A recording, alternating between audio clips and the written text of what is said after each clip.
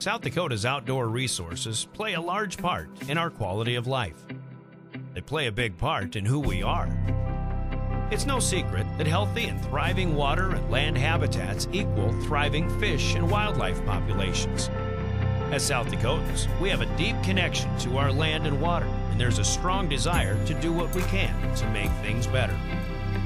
For generations, the sale of licenses has driven habitat development and access in this state. There are always more projects, improvements, and ideas for habitat. In 2020, the South Dakota State Legislature created a habitat stamp. New fees aren't something the Game Fish and Parks or the legislature take lightly. So we want to show you where the money goes. I've been a licensed hunter in South Dakota for 50 years. I've seen the highs and the lows on pheasant numbers. I was here in the 70s and you'd hardly ever see a bird. Fast forward to the 80s and 90s and because of the CRP program with respect to habitat, there were clouds of pheasants everywhere. Shortly after I was elected to the legislature in 2018, I attended a meeting of the Wildlife Federation in Brookings and I met a gentleman by the name of Spencer Vaugh. Spencer had been an employee with the Game Fish and Parks for 38 years. And Spencer said that he enjoyed going to western Minnesota to hunt pheasants. I couldn't believe it. Longtime employee of Game Fish and Parks leaving the state to hunt pheasants. And I said, why? And he said, it's simple. Every year, Minnesota pumps $110 million into wildlife habitat. Because of it, they have birds. And so that got me to thinking, what could we do here in South Dakota to bring about better quality habitat? Interesting part of the legislation is that when someone purchases a fishing license, the habitat revenue will go toward fishing. If they happen to buy a license, small game, big game, the money goes toward terrestrial habitat. And if someone happens to buy a combination license for both fishing and hunting, the money is evenly split. Everyone is going to benefit.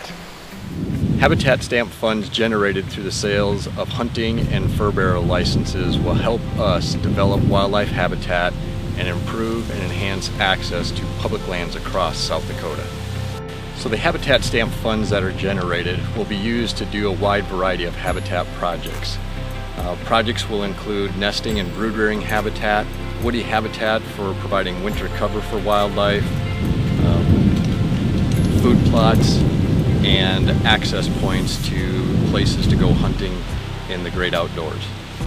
Another priority of the Habitat Stamp funds will be to provide access to hunters.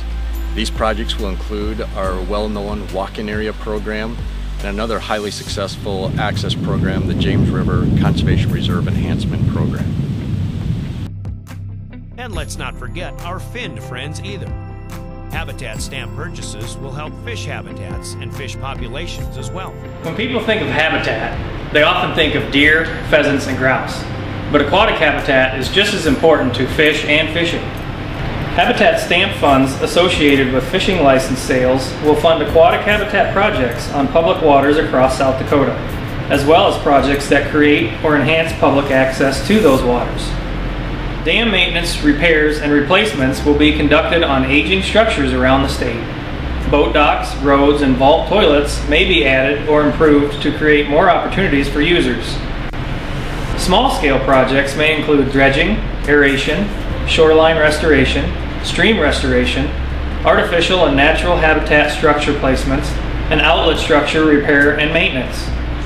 Large-scale projects may include whole lake restorations, river stream restorations, watershed improvements, sediment removal and controls, chemical renovations of the fish populations, riparian buffer zone creations, and habitat diversifications. Resident small game licenses are at the lowest level since 1938. That's really alarming.